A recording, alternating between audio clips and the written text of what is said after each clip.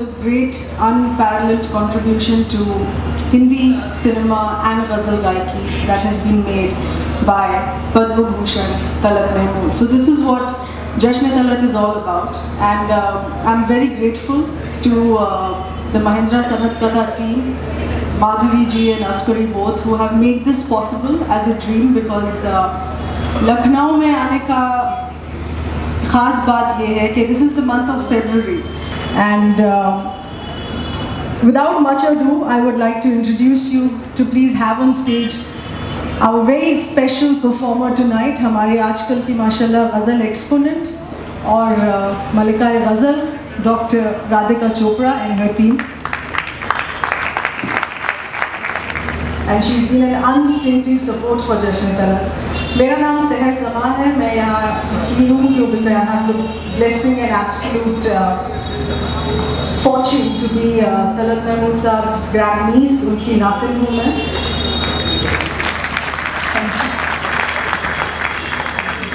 और हम uh, शुरुआत करते हैं उनके एक uh, बहुत ही एक खास गीत से which was also his most famous also what the Filmfare nomination ये सुनते ही आप पहचान जाएँगे इट्स सिग्नेचर सॉन्ग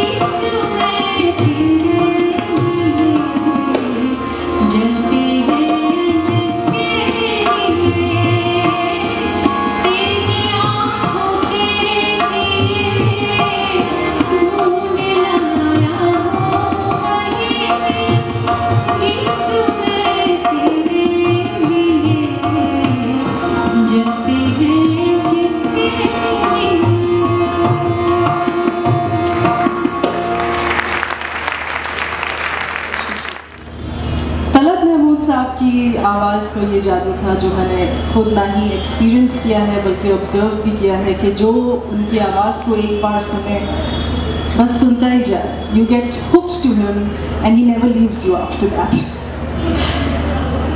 हमारे ये जश्न तलत का सिलसिला जो शुरू हुआ कुछ डेढ़ साल पहले, मेरी ये एक बहुत बड़ी कोशिश थी और डिज़ायर था कि नए जनरेशन को हमारे जो मिलेनियल्स जो हम बोलते हैं वो about 18 to 20 years of age today और इवन यंगर देन दैट कि मिलेनियल्स को उन पुराने गानों का एहसास हो, उनके मौसीकी, उनके लिरिक्स उनकी आवाज़ का एहसास हो, क्योंकि हमारे आजकल के गानों में there is a certain aspect of that emotion unfortunately which is missing and there is a lot of depth in those songs of the golden era that we don't find today. So Mushtaq और वो बेजार मुश्ताक बने curious और बेजार बने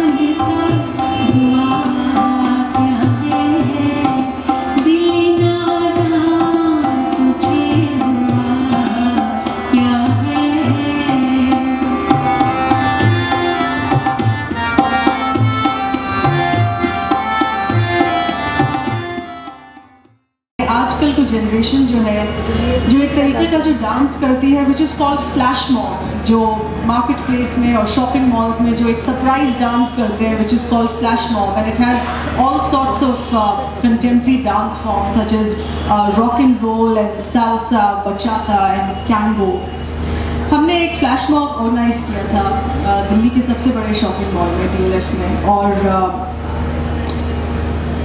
बच्चों ने तलत महमूद के ओरिजिनल साउंड ट्रैक्स में जो आजकल विंटेज म्यूज़िक कहलाता है, उन्होंने उन्हीं गानों पे आजकल के कंटेम्प्रेरी डांस फ्लैश मॉब किया था। And it had three runs nonstop उनमें से एक गाना सुनते हैं।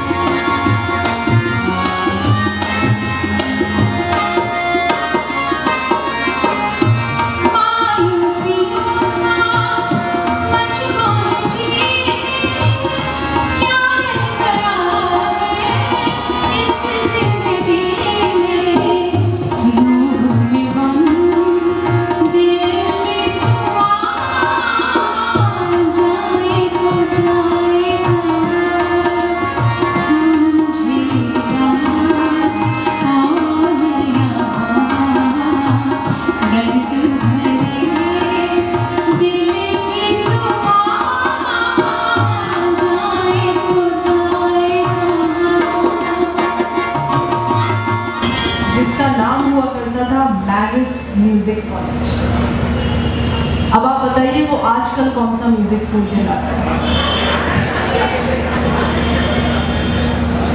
एब्सोल्युटली उसको भाटखंडे म्यूज़िक इंस्टीट्यूट कहते हैं, जो यही अगली गली में है। I guess even before reaching you have to drive fast Bhatkhande. तो डेढ़ दो साल में उन्होंने अपनी तैयारी की and he was ready for his first professional recording after completing his education at Bhatkhande music school और वो अपने क्लास के लड़कों के साथ जब बैठते थे म्यूज़िक का जोड़ तोड़ उन्होंने खुद अपने मुँह से ये फरमाया कि टेक्निकल इंफॉर्मेशन तब भी थोड़ी ऊपर नीचे हो जाती थी, मगर उनसे बढ़ के कोई सुर नहीं लगा सकता था उनके क्लासिकल सबसे आगे थे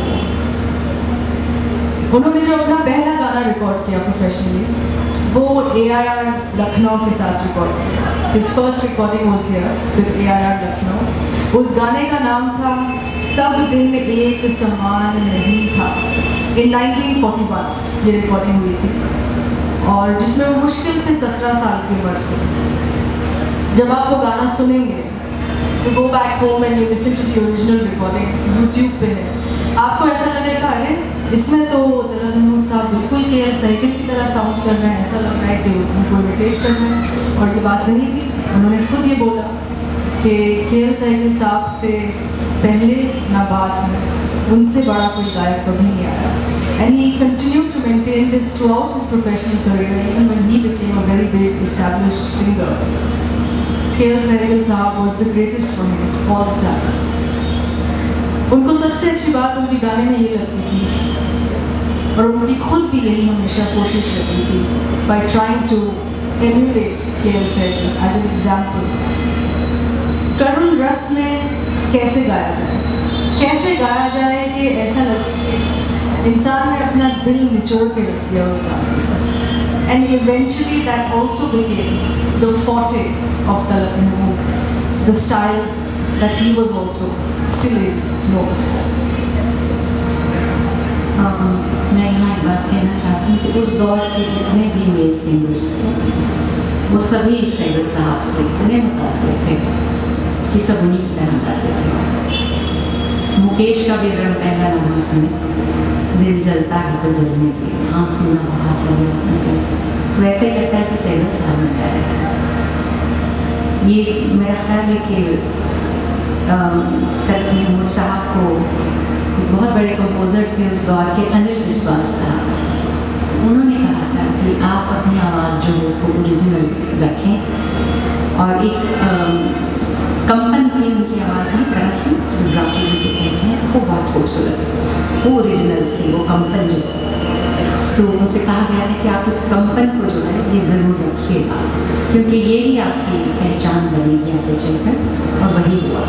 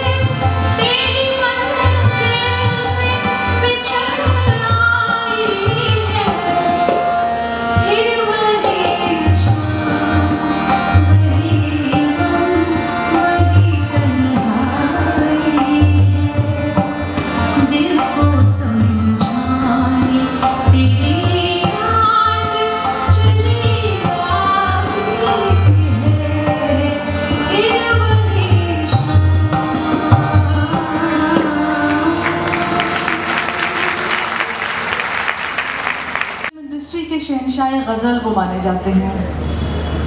He was one of the first who brought the genre of ghazal गायकी टू हिंदी फ़िल्म म्यूज़िक आज शाम उनके एक और लोग के साथ। तस्वीर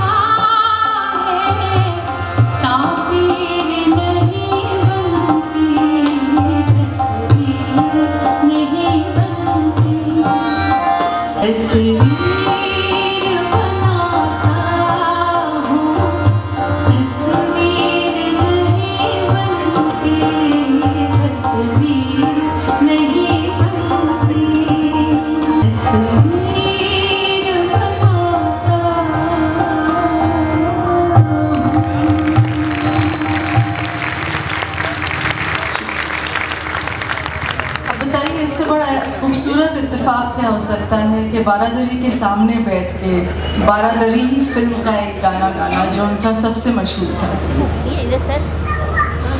मेरी याद में तुम